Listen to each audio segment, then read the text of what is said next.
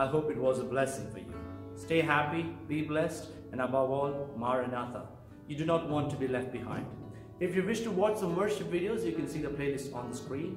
And of course, do not forget to subscribe to this channel and enable the bell icon. Thank you very much, and God bless you.